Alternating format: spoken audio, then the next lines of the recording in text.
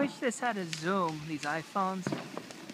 Now it just looks like I'm just staring at some random dot in the sky. Wait, you can't zoom with those things? Yeah, only when you're taking photographs, unfortunately. But I already zoomed in a couple and took some photographs. Somebody's got real fireworks. Yeah, there's some little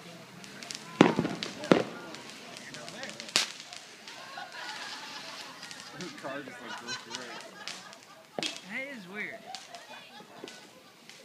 It's not even warp speeding or anything. That would be awesome.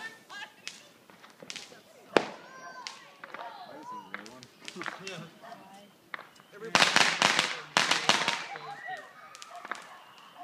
Now I don't even see it on the iPhone.